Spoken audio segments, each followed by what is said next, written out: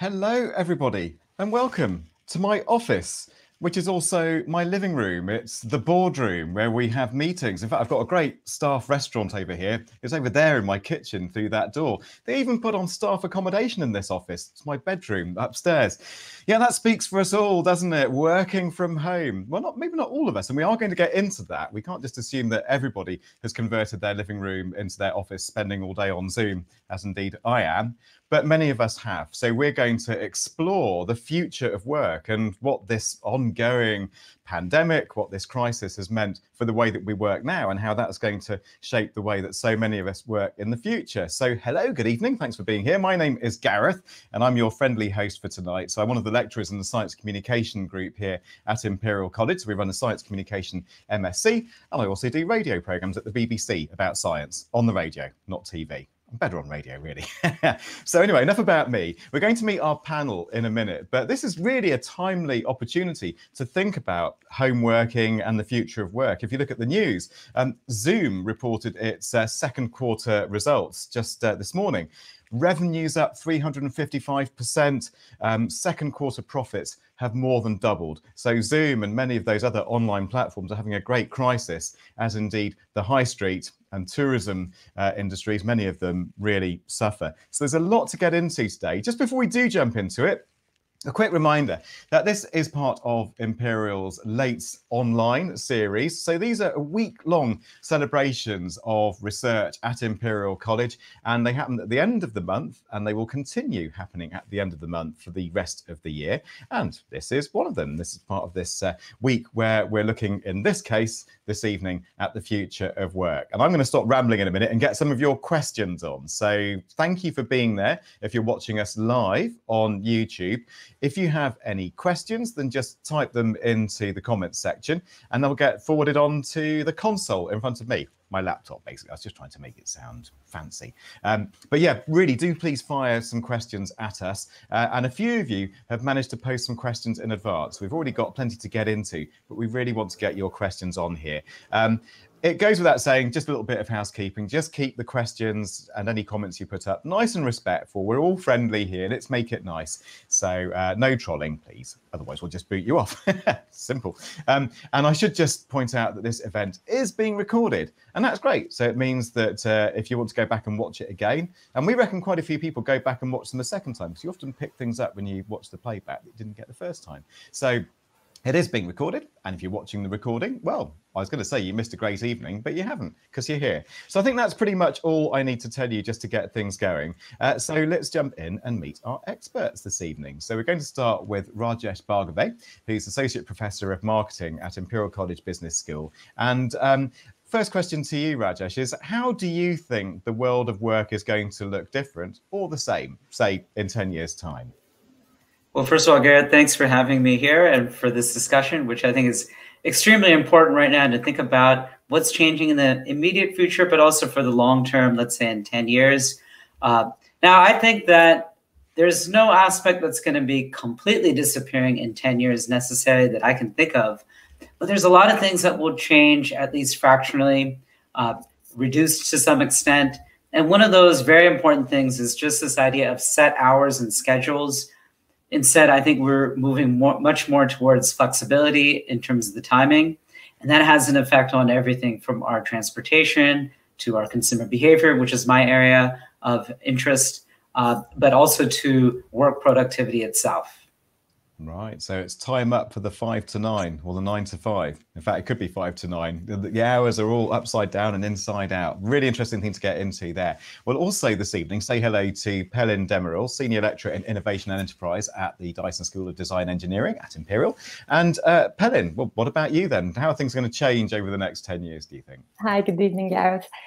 Well, I think we'll see quite a lot of the carbon intensive uh, work practices slowly going away. They may not fully disappear, but we'll see things like commutes getting shorter, uh, business trips, particularly overseas business trips, going uh, uh, becoming less frequent.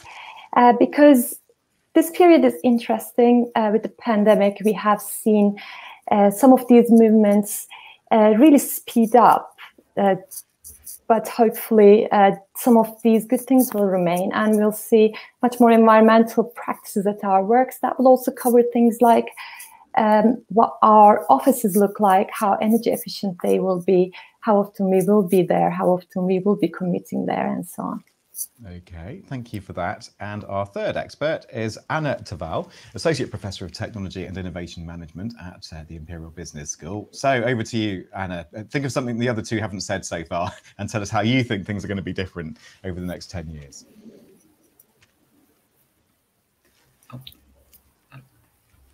Oh, Anna, I think you're on mute. We can't hear you. oh, hello, everyone, and thank you, Gareth, for uh, uh, the interesting question. What I was going to say is actually quite uh, similar, perhaps, to what uh, the previous two speakers have said. But what I was, what I think is really going to change in the next ten years, is the expectation to be simply there, to be simply in the office. I think in the past we've taken it so much for granted that we go uh, to work to do our work and um, I think, if anything, um, the pandemic has opened our eyes that we can trust our employees to do their work even if they're not there. Yeah. And so this has uh, empowered us to uh, in- indeed embody or embrace a more uh, flexible approach to work. Okay, and let's get into that because it is. I mean, it's lovely, obviously, that uh, employees are trusted enough to get their work done um, when they're working from home and they don't get too distracted with things. But I mean, do we know why that is? Is it just employees are, you know, we're all great people and we work hard and we care about our jobs? Or is it maybe in the home environment where we don't, we're not exhausted from having a long commute? Yeah, we just do some of our best work and we can do it whenever we want. Well, I think the real uh, challenge when working from home is to get the balance right. And so I think mm. uh, what we've been experimenting with over the past few months uh, is that we've been doing pretty much every, many of us at least, have been doing pretty much everything from home. And I think it starts to become clearer and clearer that some things lend themselves very well to be done at home, uh, whilst others are much more difficult to be done at home. And, uh, and, and I'll be talking yeah, about it brings us, yeah brings us to one of your big research interests, which is indeed the lack of the physical engagement. Then, and um, it doesn't seem, from what I've seen anyway, that there's a, a, killer app that will somehow replace that chance encounter at the desk next to you or uh, in the elevator or whatever. So we just can't replace that, or haven't so far. Yeah, so um, I think we've heard a lot uh, the term the water cooler uh, chat and so the yeah. chat that you'd have with your colleague uh, well, when making a cup of tea. Um, and actually, it is quite difficult to really grasp well, why is that so important? Isn't that just, well, having a good time, having a chat with a colleague? Uh, but in the end, how much does it really matter? Well, um, my research shows that for processes of creativity and innovation, which are essential to a very broad range of jobs, these are actually very important. Because when we tend to have uh, online communications, they're more purposeful, uh, they have a typically a given purpose that is center stage to the conversation. They are typically with people that we already know, whereas the water cooler moment tend to be the opposite of that. They tend to be with people that you perhaps wouldn't necessarily call online, that you wouldn't be in a meeting with online, and you talk about all kinds of random stuff that uh, provides inspiration, um, think makes you think about how to solve a problem differently. And I think that's what we're going to miss much more if we work too much online. And so we still haven't we haven't found a way of maybe we never will of um, duplicating that uh, that chance encounter in our workspaces. So Rajesh, let's come back to you then. And um, so we're seeing this demise in a way of nine to five culture, and I just wonder to what extent we are now navigating as individuals different personas. And especially when we're at home you've got your being at home persona which may well be looking after the kids and what have you. Then you might have your consumer persona online doing all your shopping. And and then your work persona in the zoom meeting or the teams meeting with uh, colleagues. I just wonder if these boundaries between our different personas are being blurred and if that's a good thing or a problematic thing I think that's a very important question for many people who are struggling with this issue is um, how to keep these different personas separate. And uh, some people are able to navigate that quite well. The challenge is you have people who, uh, workers who are not accustomed to this work from home remote setup and who are suddenly uh, having to, to do this in the last few months without the training or the, the background knowledge of of how we can keep those different spheres of life separated. It is a challenge because the distractions just um, increase if you're at home, where you have all the things that you consume television, internet, food. These have been real uh, uh, guilty pleasures for people while they're working from home. Uh, and at the work environment, that clearly separates it for many people psychologically. Uh, and when we think about consumer behavior, people's behavior changes depending on what environment they're in, whether they're focused on productivity or focused on consumption. Uh, so having the work being one space for all that, it's possible, uh, but it's not necessarily for everyone, and not everyone is ready for it just yet. Mm-hmm. Yeah, I know. I says during my working day, I can have a, a Zoom conference open on one browser window and an online shopping uh, window open on a, another browser, and you've both being the consumer. You're both kind of earning the money and spending the money at the same time, I suppose, in my case. um, and I'm really, I'm delighted to say we've already got some questions coming in. So keep those coming in. Um, those of you watching on YouTube, just go into the comments section. We will look at the questions. They are being moderated, just so you know. Uh, but if you've got a good question, it's going to end up in front of me on this screen. So keep those questions coming in and we'll go to those, but not before we just go back to Pelin quickly to maybe pick up on a point that Anna said, which I thought was rather good news that um, that as workers, we're being trusted to get our work done at home despite all the distractions. But your research is interested in the other side of that coin, isn't it? A creeping surveillance culture coming into home working, gig economy working, freelance working that maybe is a bit less um, less sound, a bit less savory? Yeah, it's actually quite interesting, and uh, my findings align with Anne's uh, findings in the way that people who come on to crowd employment platforms for gig work, a lot of the time when we speak to them, they tell us they are there to find meaningful work. And meaningful work for a lot of people is about having autonomy of how what they do, how much work they do, when they work, and things like that. They want to be creative. They want to uh, they want to do work that impacts others in positive ways. So they're looking for meaningful work. But oftentimes, what they find on these digital platforms is surveillance technologies, uh, keeping tabs on exactly what they are doing. So it's uh, it's not for everyone. For uh, for some people, this kind of work is great, works really well. Uh, and as Rajesh said, um, I think flexibility is something people are craving, and a lot of people are able to find it uh, on in freelance work in general, but also on uh, platform uh, work platforms. At the same time, we do see quite a lot of people stuck uh, due to these uh, built-in surveillance systems, which can be as subtle as uh, ratings and reviews on work platforms. Uh, and it really does control people. Yeah, so a lot of freelancers, for instance, get reviews that comment on how quickly they reply to emails or how likely they are to be online at four o'clock in the morning or something like that. And that's exactly that's hugely right. That'd be really stressful for people. Work so can be non-stop for a lot mm. of freelancers, particularly if they are on uh, these global digital platforms, because uh, employers or clients are from all over the world. So people are working 24 hours, responding to different time zones. Mm. Uh, but also, demands of clients uh, are such that one needs to respond to them right away if you don't want to get lower ratings and if you don't want to get um, if you don't want to get lose that job if you want to get a job you need to respond within an hour in most cases is what we are hearing from freelancers yeah, yeah, I know. I mean, that's that's hugely worrying. I, I, just think it'd be unbearable to just be feeling that almost everything you did, every minute of every day, has been surveilled in some way mm. and affects your livelihood, your ability to put food on your family's table. Exactly, um, and takes away from meaningful work. Yeah, Okay. Uh, so, as I say, questions coming in. I'm going to stay with you, Pelin, for this one. It's a bit outside the scope of this discussion, mm. but I think in the past you've looked at the environmental aspects of working life. So you may have an answer. Don't worry if not. But Andrea says um, if we all work from home, doesn't heating efficiency from personal homes get worse? Um, so is working from home positive from a carbon balance? So I guess the, the implication of the question is there if you're staying in your home longer, you're having to heat that home just for yourself Whereas Yeah. maybe in a workplace with several hundred people, you, they, you know, you get diminishing marginal costs in a way to heating.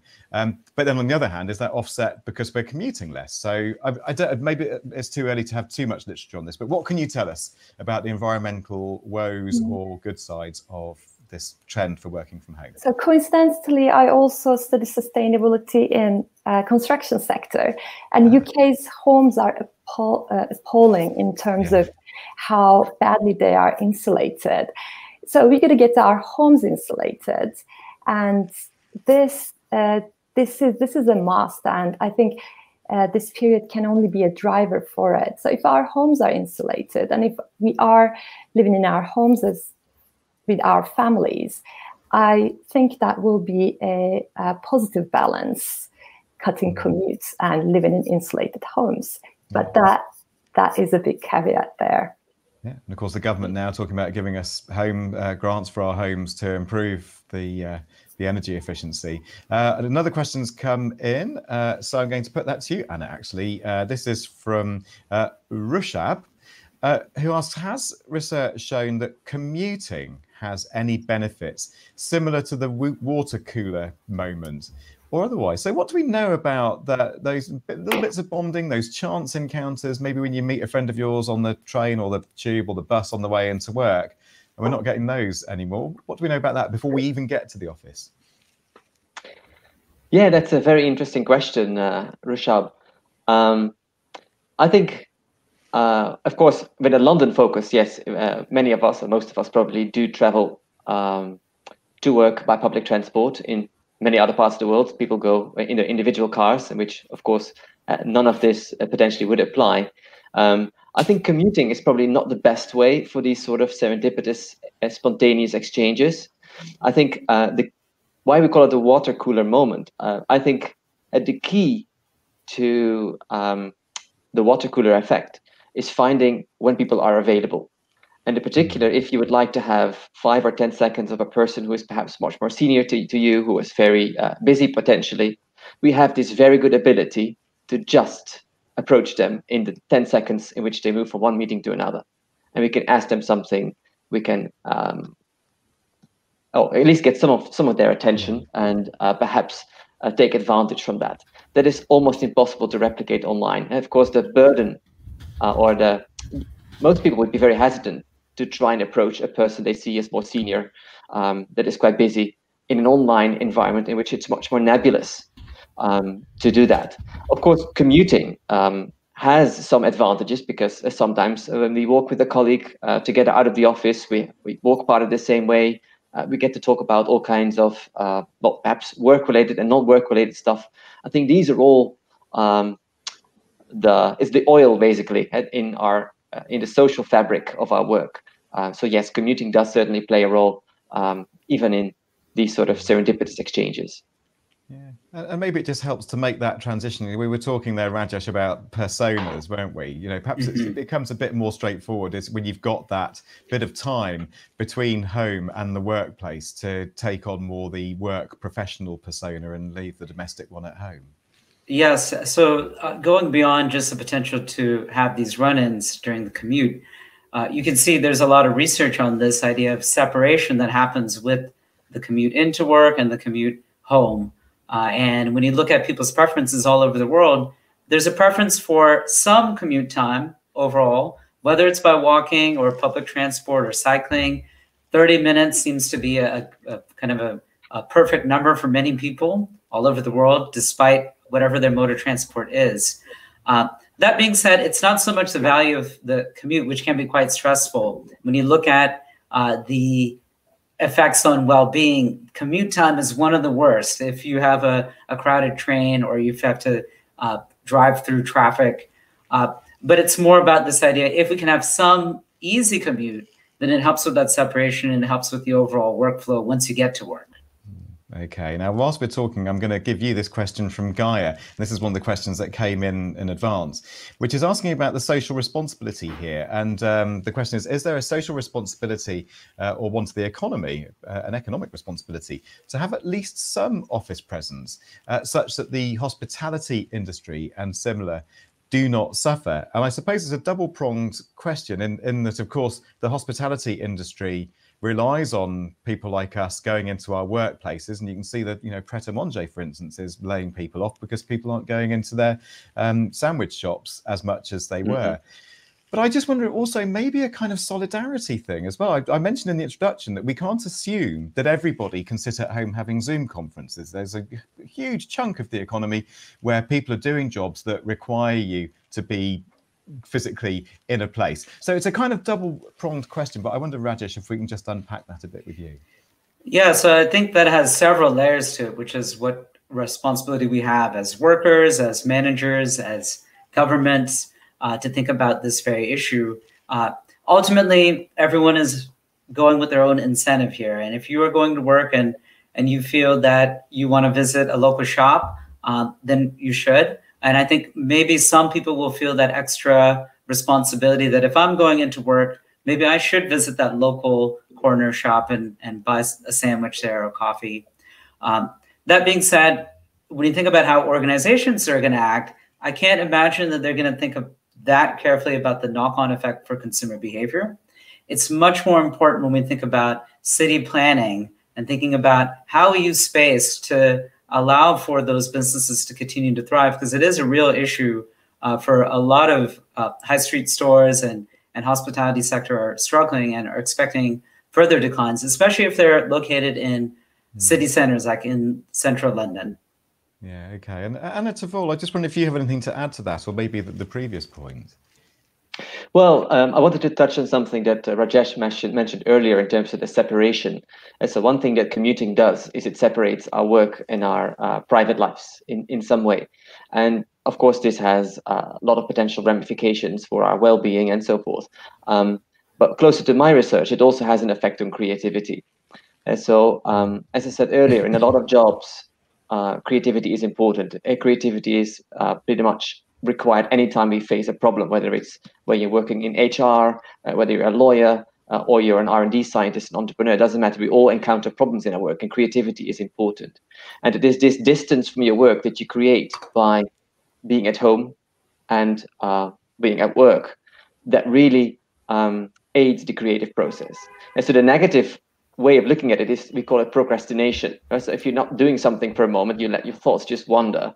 And we tend to see this as a negative thing. But when it comes to problem solving and creativity, it is actually really important not to be always fully focused. In particular, if your work and uh, private lives really blend into each other, that separation is coming really difficult, uh, which may have negative effects on your uh, creative work output. Mm. And speaking of those effects, negative or positive, uh, Pelin, this question came in in advance from Shania, who asks about the psychological effects here of working from home, maybe between different age groups or salary groups. Do we know anything about that? Do, do younger people versus older people do better or worse when it comes to maybe some of the more isolated aspects of uh, online working? Um, so I can speak uh, for the self-employed, the freelancers that I have worked with. Uh, so we see quite distinct classes in terms of the pay. So the lower pay, the medium pay, and the high paid, uh, high paid uh, freelancers actually experience very different experiences, uh, even though they're on the same platform. So it's in some ways no different than a regular labor market. So the upper end of the market generally feels very much empowered by being able to work from wherever they like and living the dream of a freelancer, doing what they like. Uh, a lot of them have reported sky being the ceiling. That is a very different experience from those uh, who are kind of in medium pay ranges, oftentimes located in the global north, uh, where living expenses are quite high and their rates are quite low, and they feel stuck. They feel on a um, treadmill that they can't get off, working many hours, as we've spoken, uh, through the day and not making enough to pay the bills. And of course, that comes with a lot of uh, negative experiences. Mm, okay. Um, and MS here, I'm wondering which of you wants to take this one. Do we know, will the workers be refunded for heating and electricity bills? It probably depends on the sector and the organization, but do we know anything about any companies who are going to help out with the broadband costs, for instance? Um, or not? It probably depends, doesn't it? Um, so that Anna, yeah, you got your hand. Well, I, I, can say a few things. Um, well, I, I, don't think immediately. Uh, what is actually quite interesting is that your employer is legally obliged to provide you a space to work, right? So it means uh, you normally have a desk or at least an open plan desk or something like that. And uh, we're in this very nebulous phase at the moment where essentially your employer is not currently providing that to you because at least for those who are still working from home, uh, you are making your own arrangements. Um, so I, I would say it's very difficult to see how this is going to pan out. But I think um, provided we indeed move towards a blended future where we have components of online and offline work, uh, I think it would be expected that the employer takes on uh, a greater sense of responsibility for providing effective working conditions for people at home. I think that'd be fair to expect. Whether it's going to happen, I think depends on a lot of factors. But uh, I would I would hope to see that happen when going forward. Yeah, that's the legal side of that. Then, so there's a legal requirement for an employer to provide a workspace for an employee. But what about in a situation like this where bringing that employee to the workspace puts that employee at risk potentially, especially in areas where you know the, the greater um, transmission rates with the virus and so on. Um, so can the employer turn around and say, well, legally, by providing them with an online platform, that's their workspace and that's our obligation fulfilled? I think, uh, well, I, don't know the answer to that, but I think okay. we, we, certainly are in a gray area, right? Because uh, um, that's that's these are the types of questions we haven't been, we haven't been asking ourselves until now yeah. because you were supposed to do your work from home at work and if you were in your free time to deciding to do otherwise uh, that then the responsibility wasn't yourself but if you're working um, much more from home of course that starts to change yeah, okay. Um, and Rajesh, I'm going to come to you with this one from Yasser, who asks How will organizational designs and management models need to evolve in order to ensure businesses can keep running effectively in a remote working world? So, how are models and approaches changing as far as you can see it? Yeah, so I've been conducting some research on how uh, people are adapting to work from home and how it relates to their relationship with technology and, and to the extent to which they have this sense that their use of technology is problematic, it stresses them out when they are moved into a work from home setting. And what that means then, I think, for the future for organizations, they need to think very carefully about how we can get everyone up to speed to be prepared to be working from home. Uh, it's going to be mixed across the workforce, and um, it might be that newer employees, we need training programs to ensure that they are equipped to work from home for the technology and products and those kinds of things that Anna mentioned. Um, but also just having the training of knowing how to separate and how to maintain that social connection with your coworkers. So I think the the biggest thing that I foresee in the near future is just having some in, in a way to onload uh, workers, train them to prepare for this work from home situation. Mm, okay. Uh, and Pelin, uh, Susanna asks, how, how is privacy going to be regulated for online remote working tools?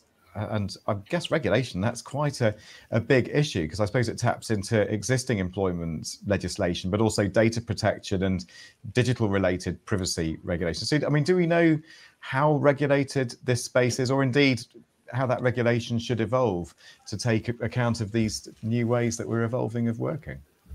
So I think uh, a lot of that work will have to happen as we are living through this reality, like the work conditions. So we'll see a lot of uh, movement there as well. I can speak a little bit about regulation uh, in relation to online uh, and, and freelance work. Uh, in that area, people have been speaking about regulation for a number of years now because gig economy in general, but also crowd employment platforms are probably the least regulated forms of uh, markets that we are uh, seeing in the world.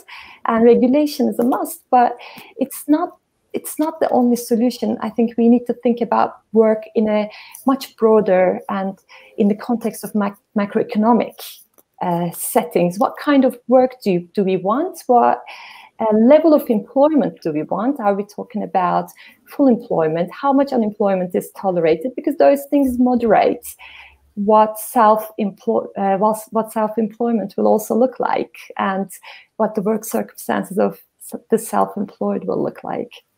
Right. Yeah. So it really is taking a whole look at what we want from the economy, asking those big macroeconomic questions. exactly. I, I, don't think it's detached from those very important questions, which are being, uh, I think, decided at the societal level uh, in response to the COVID crisis.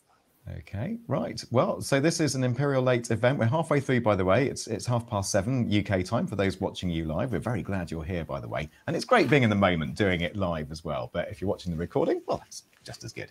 Um, so we're about halfway through. So we still want your questions. It's so easy. Just type them out in the uh, comments section and they'll end up in front of me. So uh, you've got half an hour. So get thinking of questions. And you've got three top experts here, folks. So don't pass this opportunity up. That's one thing you can't do on the recording, is it? So if you're watching live, make the most of it and join in.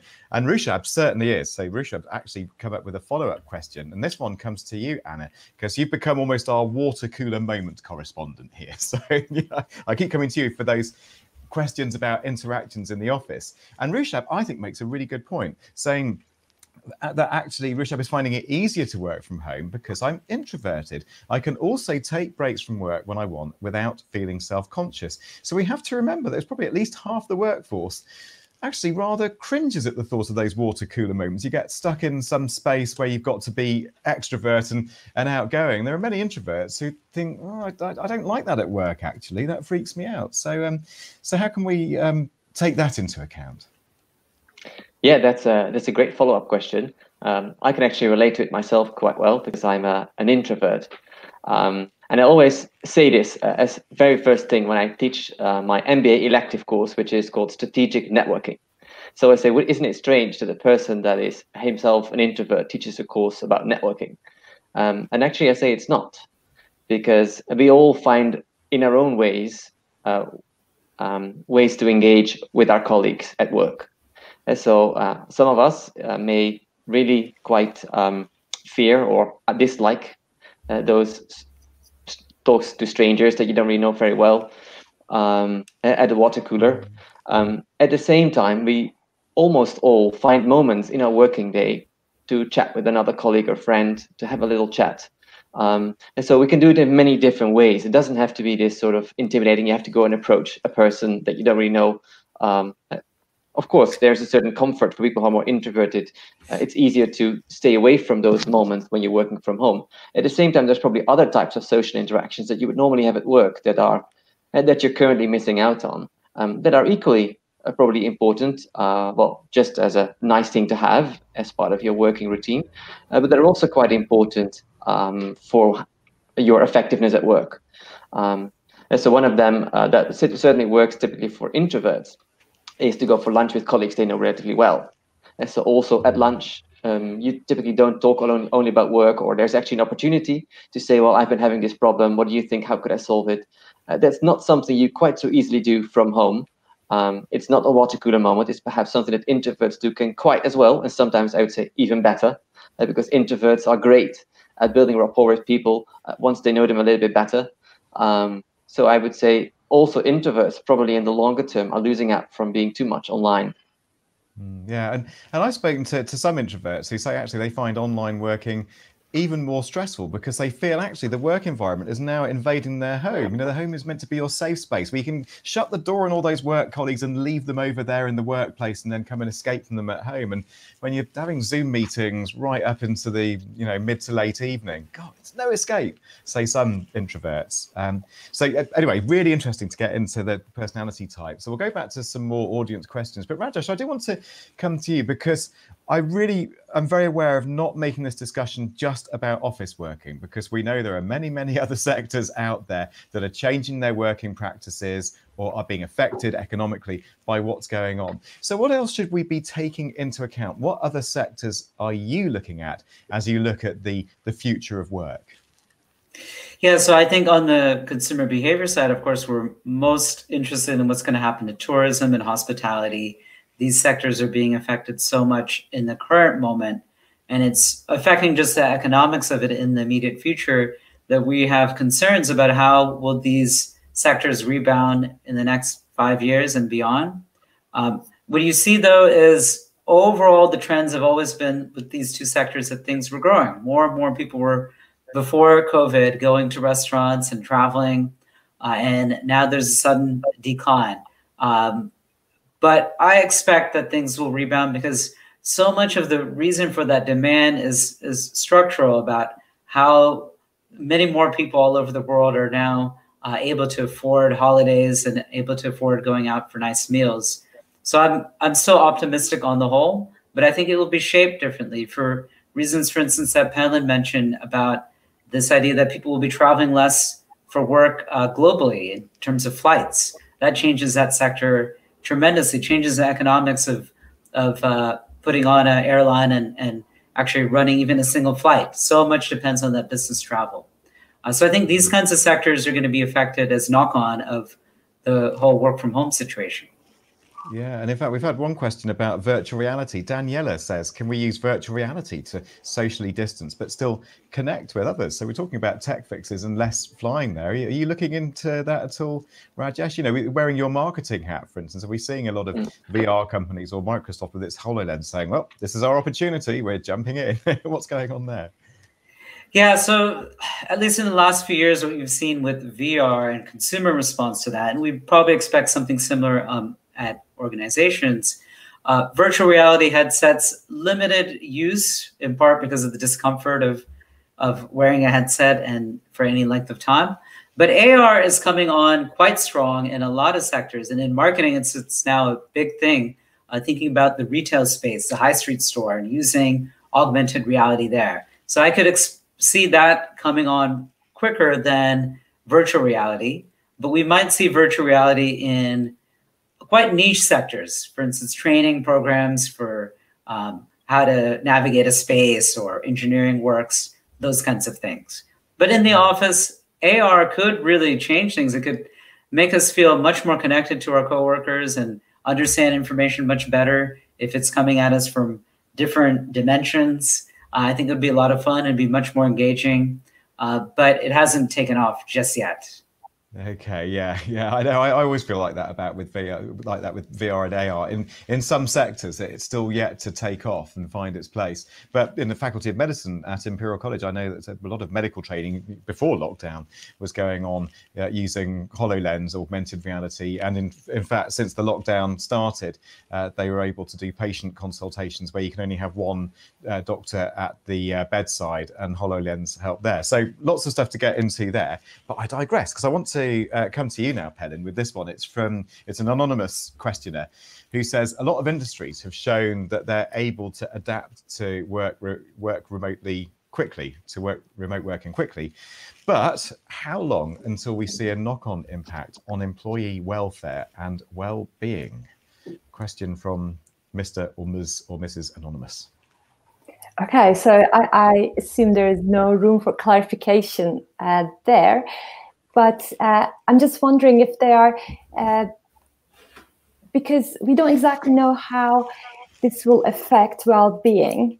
It could be quite positive and negative depending on how things evolve. And I think still early days. Um, and it very much depends on the response of different sectors.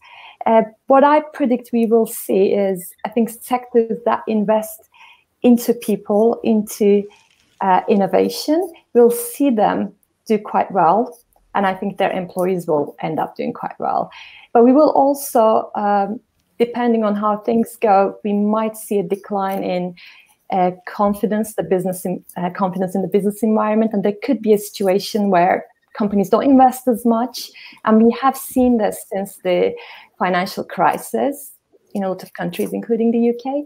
So in that situation, it could have quite negative implications for the workforce. And you'd like to think that um, industries would make the most of maybe some of the surveillance aspects of this, if you like, always on um, freelance working culture.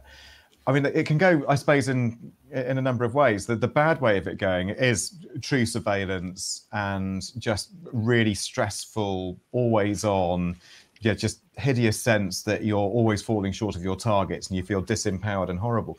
But you'd like to think that that same technology can deliver welfare benefits in terms of monitoring, I don't know, stress levels, or if somebody looks tired, or um, I don't know, using some kind of deep learning algorithms to notice if somebody's voice is sounding strained in meetings. There's a lot we can do now, or integrating with uh, body worn technology like Fitbits and other um, devices to really just get up to the minute data about how people are doing. And I'd like to think maybe it's good for business if that um, I don't maybe I shouldn't use it use the word surveillance, but that monitoring culture can be used in a in a beneficial way and not as some way of just checking up on people and just squeezing every last drop of productivity out of them.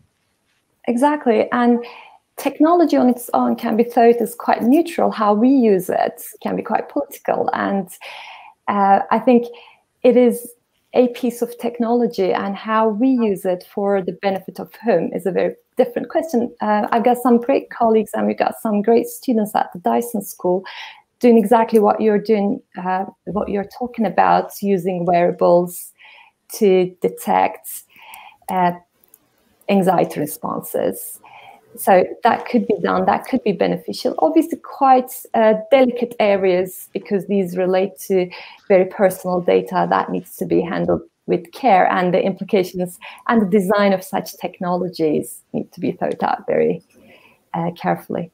Yeah Absolutely. Um, and I'm glad we had that chat earlier on about um, augmented reality and virtual reality because Sheldon wanted us to get into that. So please discuss the current state of R&D of AR and VR. So um, Sheldon, that went out to you. but I'm going to come back to you, Anna, with this one that's just come in live uh, from one of our audience watching right now here on YouTube who went into the comment section, posted us a question. You still have 20 minutes to do that, folks. So don't miss out.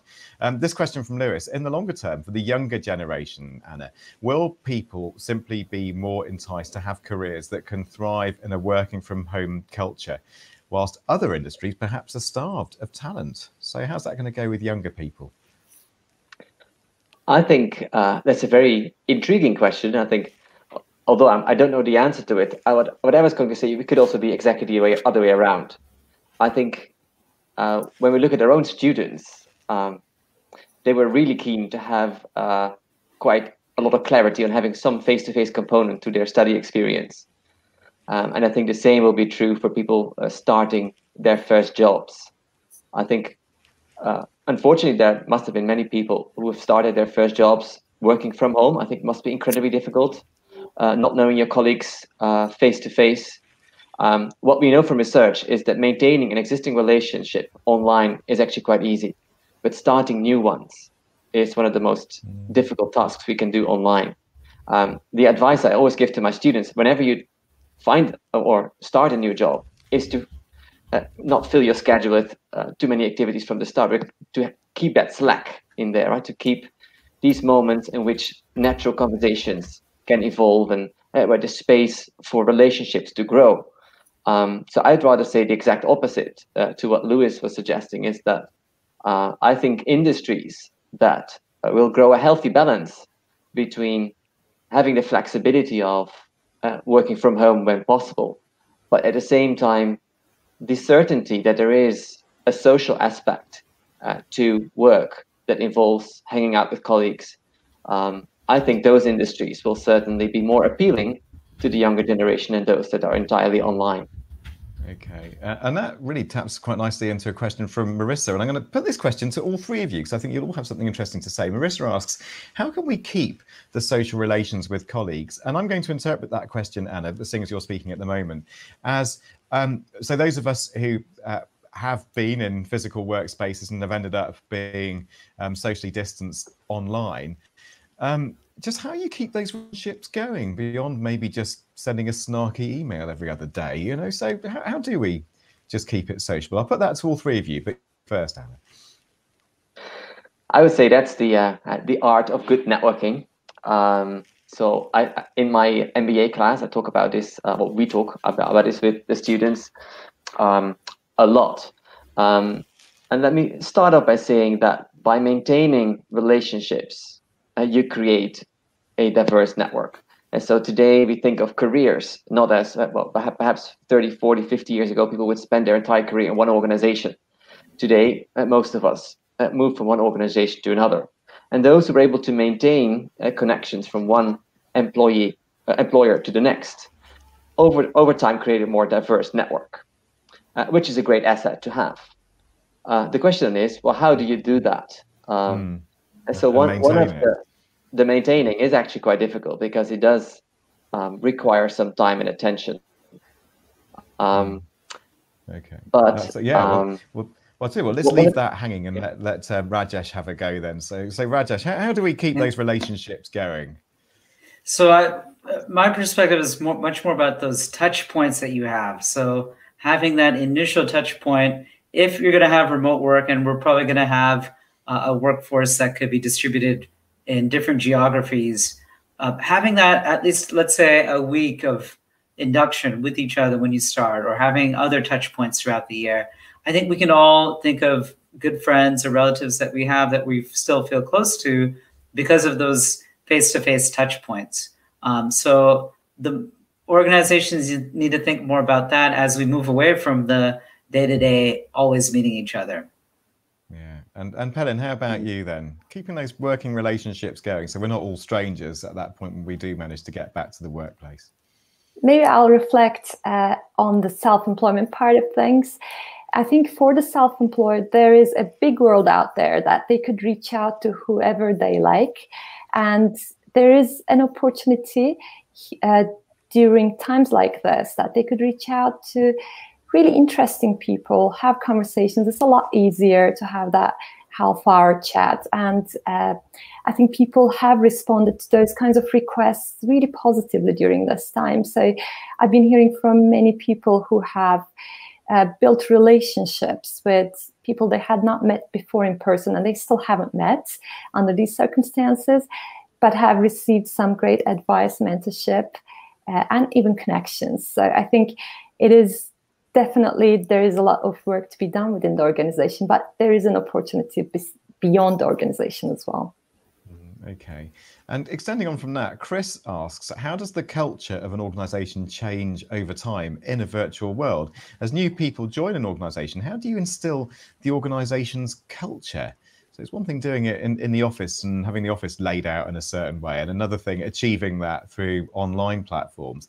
I feel as if this might be one probably for well all three of you, but I'm gonna go to Anna, and I've got a, feeling Rajesh might want to come in on it. But uh, Anna, what what do you make of that? How you, I suppose, um, transmute, if that's a word, an organization's culture and make it as alive as it were um, virtually?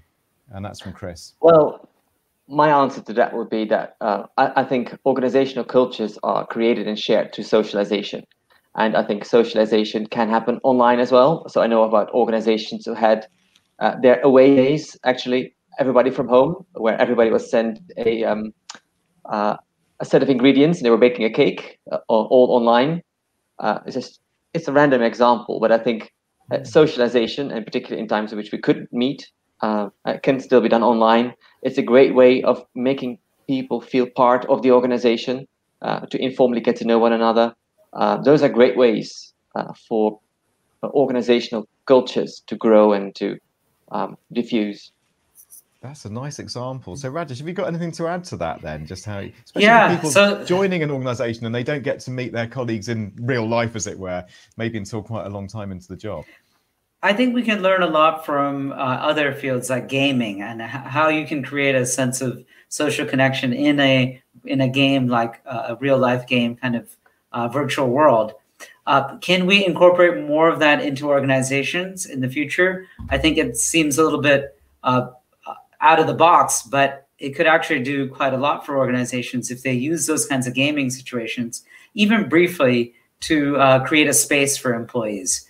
That might be one thing that will change in the long term. I think there'll be some resistance to that in the immediate future.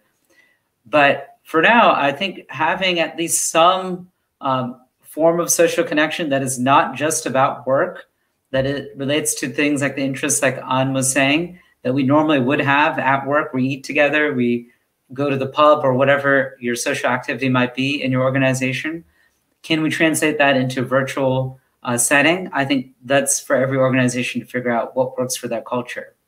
Mm, yeah, and maybe thinking through what that culture is first. You know, who are we? What's our identity? How should people feel about working for this organization and, and factoring that into how you design the online environment. Um, Oliver, and I think this might be a good one for you, Pelin. Oliver asks, what might be the impact of new working models on specific timing of the workday, uh, like nine to five, impact on hours worked per week? So really it comes down to the quantity of hours worked and when those hours are. And, and maybe even at these initial stages of your research into freelance culture, if you're getting an, any idea of what we know about working hours and how they affect people and their welfare and the way that they work? So, working hours is an interesting area. Uh, and so, we work five days a week. We've got the weekends. That hasn't always been the case. Weekends uh, are an innovation uh, in history. And UK works some of the longest hours in Europe so there has been you may have heard during the um, during the lockdown there has been talk of um, four day week uh, weeks, and then th- this movement has been in place for a while. So I think we need to think about how many hours people should be working. What is what, what should be the norm? Of course, you cannot force people to work for less, work less, but um, too much work obviously is not great, and a balance between work and life is a, is a good thing. So that's a very complex question, but we need to think about how many hours we need to be working in order to start finding answers to that. Okay, yeah. Um, now, um, Kimberly has um, taken us out of the office and onto the construction site with this question. I'm going to come to you, Rajesh, with this one. Can construction related work conducted remotely, in other words, having less human labor, be replaced with robotics, maybe more prefabrication. It might be outside your purview, but just because we were chatting away about virtual reality and that kind of remoteness, um, yeah, just acknowledging that there are people who have in situ jobs, as it were, who can't just spend all day on a Teams meeting. Can you see anything in the construction industry from all this? Yeah, so this is not, I don't know the technology in the construction industry that would enable that. Uh, I think these things will grow if there are the economic reasons for it. I don't expect it to come out of just this idea of social distancing in construction sites. Um, but there are a lot of developments in robotics, so I wouldn't be surprised if we see changes in that way. Uh, it has to do with will we be seeing a replacement of human workers with with robots in a lot of different sectors, including construction. Uh, and I think each industry is going to have a different pace for that. And and so I don't know the specifics on construction, so I don't think I can answer that one. Fair enough. Yeah. Okay. But quite, it's quite an interesting opportunity to think about how just so many sectors are going to be restructured and, and reorganized. So we'll have to come back in a few years and see uh, how construction sites uh, look different. Um, so we're going to be wrapping up quite soon, folks. So probably time just to sneak a few more in, and I'll do a few kind of wrapping up questions just to ease us out of this and uh, into the uh, into the evening. Um, but um, uh, Dax wants to know how necessary offices are for startups, or these days, can they just be run from a website? And I guess the implications there are like technology startups and digital agencies and that kind of thing. Um, so I can see you nodding there, Anna, possibly. So let, us pick on you for a bit then. What what do you think then? Uh, do startups they, they can just get going without ever even needing an office, can't they? I would say uh, quite the opposite. If you uh, think about the trend, uh, just up until the start of the pandemic, uh, was towards the use of co-working spaces, uh, incubators, accelerators. As startups, they want to be in each other's vicinity in an entrepreneurial ecosystem or in these kinds of structures in co-working spaces uh, because they believe they can learn from one another. Uh, they get energy from one another. they get advice. Um, my research in the London entrepreneurial ecosystem shows uh, that entrepreneurs are drawn to London uh, exactly for that reason, to be part of a bigger thing. Uh, because if you're an entrepreneur, it's, it's a very solitary activity. And uh, it's in those circumstances that all the more you need to be amongst like minded others. Um, and so the trend towards the greater use of accelerators, incubators, and co working spaces has been temporarily stopped uh, because of uh, higher forces. but my um, expectation is that it's going to come back, perhaps at uh, even stronger than before. Yeah. That's great. And that's been your whole big point this evening that the physical workspace does matter, uh, where, even in, in, and maybe especially in digital related startup kind of industries. It's still about having that physical workplace. Um, uh, Pelin, forgive, give me, Pelin, for banging on about construction all the time, but it does occur to me that you've, you've in wearing your other hat, looking at the environmental aspects of economic activity that you might have looked at construction. I'm just throwing it out there, but if there's anything you can add about what we know about the environmental aspects here. Um, so speaking about technology, we see quite a lot of uh, positive impact of sensing technologies on construction sites. Uh, making places safer for people to work because safety is a major issue on construction sites, but also uh, making things environmentally much, much better.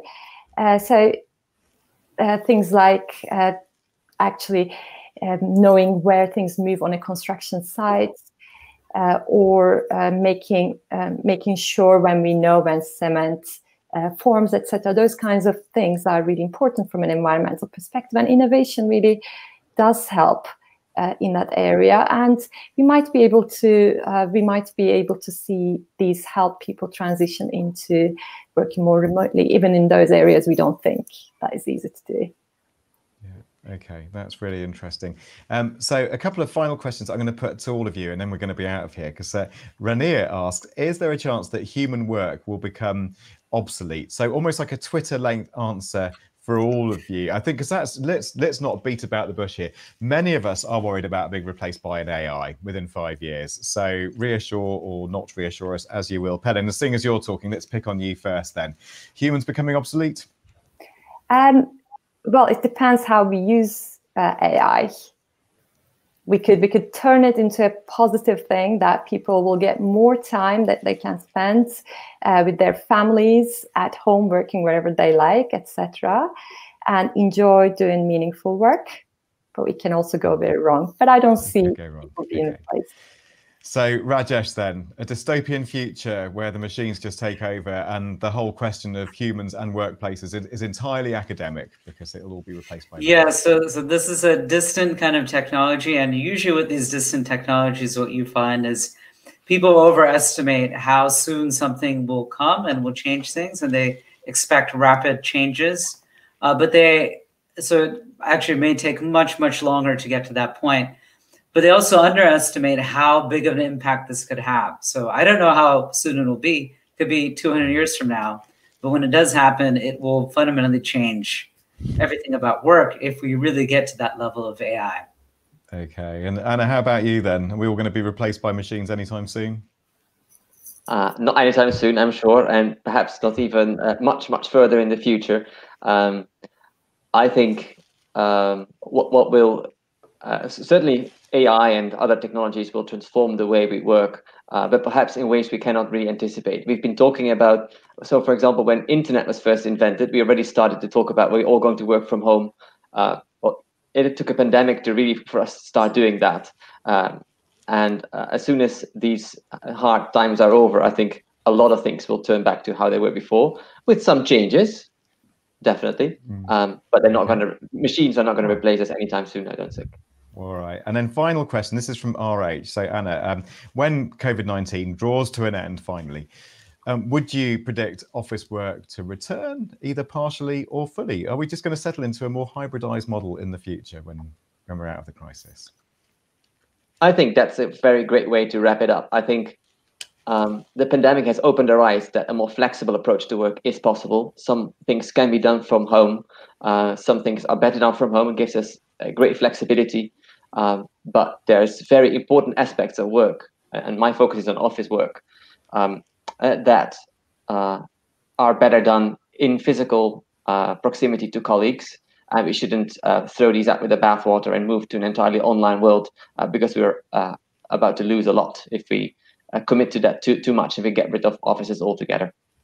Right. Okay. So it'll be a hybrid for now, and and I think I can see Rajesh and Pelin nodding. So I'm going to take that as assent, but I don't want to put words in your mouth. But what I do have to say is that we need to be out of here. Would you believe it? That is it for this evening. But don't go quite yet because I should just tell you uh, that um, we are going to uh, carry on with these online lates. Uh, so we'd love to know what you think about them. Uh, fill in the uh, evaluation survey if you will, please. We'd like that very much. Uh, you can see it down there um, in the YouTube YouTube feed, and um, that's in the YouTube chat. So tell us what you think, and that's really, really useful, I promise you. And um, the recording of this session will soon be available as well. So share it with your friends or come back and watch it all again because you're bound to catch things next time that you didn't catch this time. Really sorry if we didn't get around to answering all your questions, but I did my best to get uh, through as many as we possibly could. Uh, so um, on that, I'm going to bid you a fond farewell. Thank you very much to Anna, Rajesh, and Pelin for being absolutely brilliant panelists. And most of all, thank you, audience, for being here tonight.